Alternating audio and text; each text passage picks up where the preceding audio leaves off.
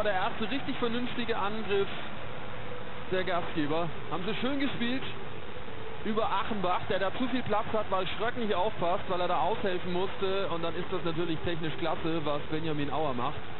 Stieber leitet das Ganze ein, zieht Schröck raus, dann hat Achenbach freie Bahn, der ehemalige Vierter. Und dann einfach mal den Ball über den Fuß rutschen lassen, wie das Benjamin Auer macht. Karaslavov ohne Chance da irgendwie noch zu stören. Und Alexander Walke kann nur hinterher schauen, kassiert seinen ersten Gegentor.